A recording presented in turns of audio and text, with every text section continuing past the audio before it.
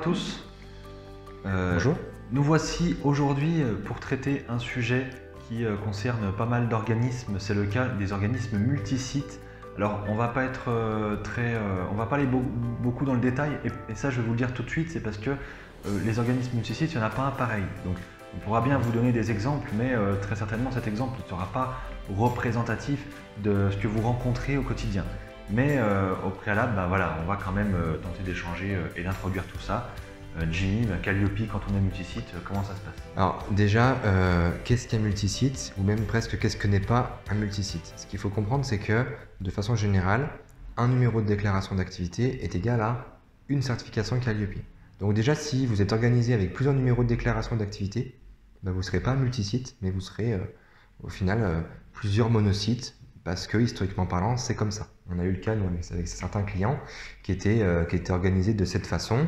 Alors, certains font le choix de garder ce fonctionnement et d'autres veulent mutualiser, veulent harmoniser leur process et donc ils vont fusionner autour d'un seul numéro, donc avec euh, un, un, site chapeau et d'autres sites euh, juste en dessous. Donc ça fait la passerelle avec finalement qu'est-ce qu'un multisite, c'est un petit peu ce que je vous ai dit là avec un chapeau puis ce qui est en, ce qui est en dessous. Un multisite c'est une fonction centrale. Alors une fonction centrale qui d'ailleurs n'est pas forcément le siège. Hein. Vous pouvez très bien avoir le siège social du groupe qui est à Paris et la fonction centrale de formation qui est à Lyon. Hein. Ça, ça peut arriver. Euh, donc une fonction, centrale qui est identifiée. D'accord?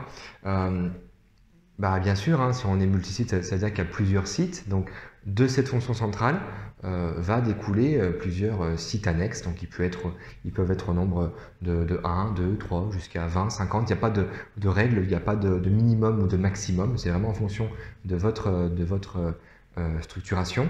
ce qu'il faut comprendre, c'est qu'il il y a quand même beaucoup de prérequis à respecter pour être considéré comme un multisite. Nous, on fait vraiment une étude attentive à chaque fois et on vous pose des questions. C'est de manière déclarative, hein, bien sûr, mais on vous les pose quand même euh, pour vérifier si vous êtes bien multisite. Donc, on va vous demander si déjà la fonction centrale, elle n'est pas sous-traitée. Parce que cette fonction centrale, ça doit être vous. C'est vous et vous-même. Vous n'avez pas le droit de sous-traiter votre fonction centrale. Euh, les sites qui sont annexes, ils vont devoir finalement respecter scrupuleusement tout ce qui est énoncé, tout ce qui est évoqué, tout ce qui est mis en place par la fonction centrale. Et cette fonction centrale devra même nous démontrer qu'elle a l'autorité pour justement euh, mettre en place euh, les changements au sein de ces sites. Donc avoir une, autorité organisationnelle, une autorité administrative dans les changements. Si la fonction centrale dit la procédure c'est ABC et point barre, ben, le site euh, qui est en dessous pourra pas dire bah non mais moi je fais ma procédure Z depuis 20 ans et euh, je veux pas changer parce que ça me, ça me va bien comme ça. Bah non, du coup ça marchera pas. Si c'est comme ça, on, ce sera pas possible. Et on pourra pas, alors ça, ça c'est aussi important, on pourra pas exclure le site en question qui veut pas faire comme la fonction centrale, on pourra pas l'exclure. En fait, c'est tout ou rien. C'est pas, on, on, peut pas jouer et dire bah attends, bah, lui il va rester avec moi, puis lui bah non, bah du coup il, il veut jouer en solo, donc il va faire son Calliope en solo. C'est beaucoup plus compliqué que ça. Euh, on a vraiment, nous, de nombreux cas particuliers. C'est pour ça que Tanguy vous dit, bon, on va être un peu, euh, un peu euh, pas superficiel, mais on va rester quand même en surface par rapport à cette thématique du multisite, parce que derrière, on vérifie beaucoup d'éléments avec vous par rapport à cette notion qui est quand même importante pour partir du, bon pied et pour être certifié de la meilleure des façons.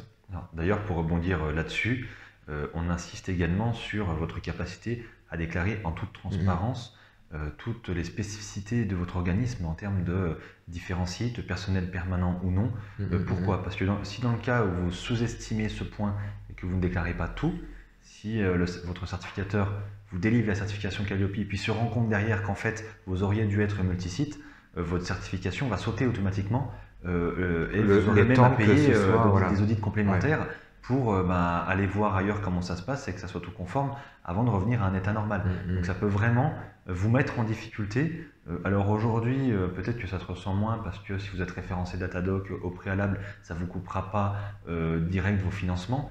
Mais par contre, tout ça, ben, en 2022, mm, mm. ça, va faire, ça, ça, va être dangereux. Quoi. Tu, tu, évoquais, Tanguy, la notion de personnel permanent. Ça, c'est aussi important. En fait, un site est considéré comme site à part entière dès lors que vous avez du personnel permanent.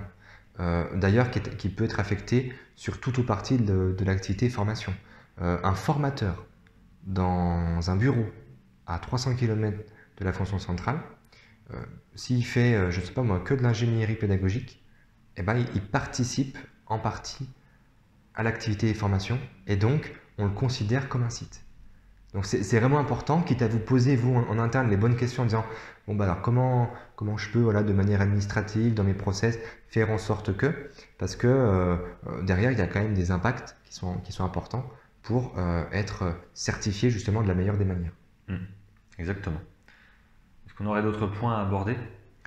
Il y en aurait certainement, mais voilà, simplement pour, pour vous le repréciser, n'hésitez pas quand vous faites, si vous l'avez déjà fait, mais votre demande de, vie en ligne, quand vous cochez la question vous êtes monosite ou multisite, euh, veillez à bien consulter les différentes options qu'on vous propose, à les valider et s'il y a des questions, à revenir vers nous pour valider tout ça ensemble. Voilà. Aussi, alors également, ça pourrait être un cas hein, euh, qui, qui, vous concerne, c'est euh, vous êtes déjà certifié, donc vous êtes un, organisme entre guillemets monosite, donc avec un seul site, et bah, vous avez une, opportunité euh, de business, de marché, euh, vous souhaitez euh, faire de la croissance externe, vous rachetez un organisme, vous allez très certainement devenir un multisite. Et ben, ce changement-là, comme le disait Tanguy, vous devez nous le déclarer pour qu'on puisse intégrer ce nouveau site à votre périmètre de certification. Exactement. Voilà. Bon, c'est un exemple parmi tant d'autres, mais ça peut être le cas.